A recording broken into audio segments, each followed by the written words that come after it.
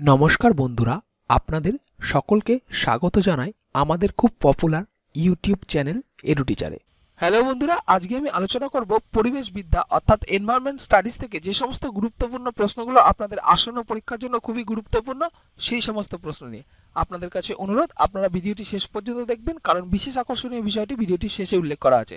এবং তার সাথে সাথে আপনারা ফাইনাল পরীক্ষা দিতে যাওয়ার আগে বাড়িতে বসে নিজেরাই একটা মক প্র্যাকটিস করে দেখুন যে পরিবেশ বিদ্যার প্রশ্নে আপনাদের পারফরমেন্স কোন লেভেলে আছে। তা যে প্রশ্নের উত্তরটা আপনাদের সঠিক হচ্ছে সেটাই রাইট চিহ্ন এবং যেটা ভুল হচ্ছে সেটাই ক্রস চিহ্ন। এইভাবে আমরা আজকে দশটা প্রশ্ন আলোচনা করব আর দশটা প্রশ্ন আলোচনা শেষে আমরা জিজ্ঞেস করব আপনারা কে কত মার্কস পেলেন? আপনারা আপনাদের প্রাপ্ত মার্কস অবশ্যই কমেন্ট লাইনে পোস্ট করবেন আর আপনাদের প্রাপ্ত মার্কস দেখে আপনারাও নিজেরা বুঝতে পারবেন আপনাদের পরিবেশবিদ্যা, এই যে সাবজেক্টটা আছে, এই সাবজেক্টটায় আপনাদের পারফরমেন্স কতটা এনহ্যান্স করতে হবে বা পারফরমেন্স কোন পর্যায়ে আছে, আর আমরা জানতে পারব আমাদের ভিডিওর সার্থকতা। তা আমরা শুরু করছি। প্রথম প্রশ্ন, যে কোশ্চেনটা আপনাদের এর আগের দিনের হোম ট্যাক্সের প্রশ্ন ছিল, তো সেই প্রশ্ন দিয়ে, তা হোম ট্যাক্সের প্রশ্নটা ছিল, উড়ন্ত ছয়ের প্রধান উৎস কি? তা যারা কোশ্চেনের অ্যান্সার উল্লেখ করেছেন অপশান এ তাপবিদ্যুৎ কেন্দ্র, তাদের সবাইকে সাধুবাদ জানাই এবং যাদের ইমেল অ্যাড্রেস আমরা চেয়েছি, আপনারা, আপনাদের ইমেল অ্যাড্রেসটা অবশ্যই পোস্ট করবেন। চলে আসি আমরা পরবর্তী কোশ্চেন কোশ্চেন নাম্বার টু কৃষি ইকো বান্ধব কাকে বলা হয়? অপশান এ সাপ অপশান বি ব্যাং অপশন সি কেঁচো এবং অপশান ডি ইঁদুর। তাহলে কিশো ইকো বান্ধব, তাহলে দু নম্বর প্রশ্নে যারা অপশান সি চুজ করছেন, তাদের সবার উত্তর সঠিক কেঁচো, কেন কেঁচো মাটি খুঁড়ে মাটিটাকে আলগা করে দেয় এবং তার মধ্যে দিয়ে বায়ু প্রবাহ হয়, যার ফলে ফসলের বৃদ্ধি ভালো হয়। চলে আসব আমরা পরবর্তী কোশ্চেন কোশ্চেন নাম্বার থ্রি কোন নেতা চিপকো আন্দোলনের সাথে যুক্ত? Option A Sundarlal Bahuguna, option B Medha Patkar, option C Chandrashekhar এবং অপশন ডি আন্না হাজারে। তিন নম্বর প্রশ্ন আর তিন নম্বর প্রশ্নের সঠিক উত্তর option A Sundarlal Bahuguna. Next question question number four মানবাধিকার সম্পর্কিত বিশ্ব সম্মেলন কোথায় অনুষ্ঠিত হয়েছিল? Option A Vietnam, option B Austria, option C Ireland এবং অপশন ডি ব্রাজিল। চার নম্বর প্রশ্ন, আর এই প্রশ্নের সঠিক উত্তর option B Austria. Next question question number five মানবাধিকার সম্পর্কিত বিশ্ব সম্মেলন কত সালে হয়েছিল? অপশন এ উনিশশো আশি অপশন বি উনিশশো তিরাশি অপশন সি উনিশশো নব্বই এবং অপশন ডি উনিশশো চুরানব্বই। পাঁচ নম্বর প্রশ্ন, আর এই প্রশ্নের সঠিক উত্তর অপশন সি উনিশশো নব্বই।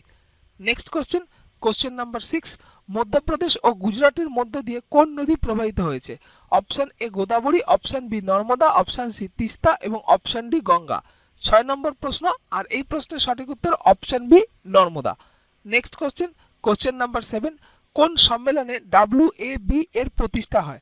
Option A UNESO UNESCO option B UNCAD UNCAD option C UNIDO UNIDO এবং অপশন ডি হচ্ছে ইউএনআই ওয়ার্ল্ড তাহলে চারটে অপশনের মধ্যে আপনাদের সঠিক উত্তর নির্বাচন করতে হবে। যারা অপশন চুজ করছেন এ ইউনেস্কো তাদের সবার উত্তর সঠিক, তাদের সবাইকে সাধুবাদ জানাই। আর আমরা চলে যাচ্ছি পরবর্তী কোশ্চেন কোশ্চেন নাম্বার এইট পরিবেশ সুরক্ষা আইন কবে চালু হয়? অপশান এ উনিশশো ছিয়াত্তর অপশন বি উনিশশো ছিয়াশি অপশন সি উনিশশো অষ্টাশি এবং অপশান ডি উনিশশো নব্বই।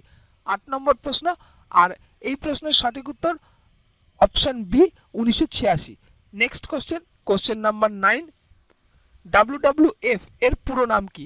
Option A world wild fund option B world work fund option C world wild life fund এবং option D world winter fund তা এই কোশ্চেনটা কিন্তু অনেকবার কোশ্চেন দেখা গেছে। এই কোশ্চেনটা আপনারা কিন্তু ইম্পর্টেন্ট দিয়ে দেখবেন। যদিও আপনাদের কাছে পড়তে পড়তে একটা সোজা লাগছে, কিন্তু এটা ইম্পর্টেন্ট কোশ্চেন আছে। তা যারা এই কোশ্চেনে অ্যান্সার করছেন option C world wild life fund তাদের সবার উত্তর সঠিক। চলে আসব আমরা পরবর্তী আজকে শেষ প্রশ্ন। আজকে শেষ প্রশ্ন কোশ্চেন নাম্বার টেন পরিবেশ সংক্রান্ত কোনো বস্তুর গণনাকে কি বলা হয়? খুব ভালো question option A green accounting option B green account option C green agriculture এবং অপশন ডি গ্রিন কালচার তাহলে দশ নম্বর প্রশ্ন আর দশ নম্বর প্রশ্নে যারা অপশন চুজ করছেন এ গ্রিন অ্যাকাউন্টিং তাদের সবার উত্তর সঠিক, তাদের সবাইকে সাধুবাদ জানাই। এবার আপনারা সবাই একে একে কে কত মার্কস পেলেন, সেই মার্কসটা অবশ্যই ক্যালকুলেট করুন এবং ক্যালকুলেট করে আপনারা কমেন্ট লাইনে পোস্ট করুন। আপনারা এই যে মার্কস পেলেন, সেই মার্কসটা আপনারা বুঝতে পারছেন যে আপনাদের পরিবেশবিদ্যার যে বিষয়টা আছে, সেই বিষয়ে আপনাদের পারফরমেন্স কীরকম আর কতটা এনহ্যান্স করতে হবে। তা, আর তার সাথে সাথে আমরা বুঝতে পারছি আমাদের ভিডিওর মোটিভেশন বা আমাদের ভিডিও কতটা মোটিভেট করছে বা আমাদের ভিডিওর সার্থকতা। তো আপনারা সবাই একে একে আপনাদের গুরুত্বপূর্ণ কমেন্টস পাস করুন আর আমরা চলে আসছি আপনাদের হোম ট্যাক্সের প্রশ্ন। তা, আজকে আমি আপনাদের হোম ট্যাক্সের প্রশ্নটা বলছি, আপনারা একটু খাতায় লিখে নেবেন। আজকে আপনাদের হোম ট্যাক্সের প্রশ্ন হলো পরিবেশের ধারণ ক্ষমতা কার দ্বারা প্রভাবিত হয়? অপশান এ প্রজাতির বৃদ্ধির দ্বারা, অপশান বি জনগোষ্ঠীর বৃদ্ধির দ্বারা, অপশান সি সমবায়ের বৃদ্ধির দ্বারা এবং অপশান ডি উদ্ভিদের সংখ্যার দ্বারা। আবার আমি আজকে হোম ট্যাক্সের প্রশ্নটা বলছি, পরিবেশের ধারণ ক্ষমতা কার দ্বারা প্রভাবিত হয়?